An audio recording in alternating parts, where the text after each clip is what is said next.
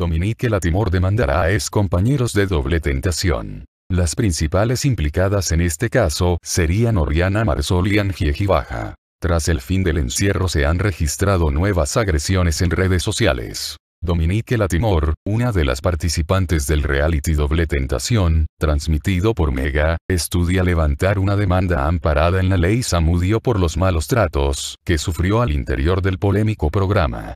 La modelo estaría preparando la acción judicial junto a su abogado, en contra de sus ex compañeras de encierro por las actitudes discriminatorias de las cuales fue víctima, según informó el programa Intrusos de la Red. Las principales implicadas en este caso serían Oriana Marsol y Angie Baja, quienes en reiteradas ocasiones acosaron y discriminaron a la Timor tanto en las transmisiones como en redes sociales. Cansada del acoso, la modelo chilena realizó el 29 de marzo la primera denuncia por este caso en Carabineros, donde acusó Gibaja por comentarios xenófobos y racistas. Si bien el problema parecía terminar tras la salida de Marsoli del país, durante esta jornada se registraron nuevas agresiones por parte de Gibaja hacia la Timore, quien subió los insultos por medio de una imagen a su cuenta de Instagram para graficar el abuso. A continuación lo que dijo Dominique Latimor. A veces no entiendo en qué mundo vivimos, qué sociedad queremos construir, cuando madres dan un ejemplo así a sus hijos, cuando personajes públicos con el poder de influenciar masas, incitan al odio, a la violencia, discriminación y otros.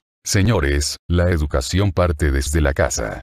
Padres, madres eduquen a sus hijos a favor de la igualdad en nosotros, los seres humanos personas públicas tenemos algo de suerte de ser referentes para incitar a ser una sociedad mucho mejor, en base al respeto, la tolerancia, la solidaridad, amor etc. Todos nosotros podemos generar conciencia de que aunque seas pobre, rico, blanco, negro, gay, hetero, discapacitado u otros, somos todos iguales, convivimos en un mismo espacio geográfico y nos merecemos respeto, los unos a los otros.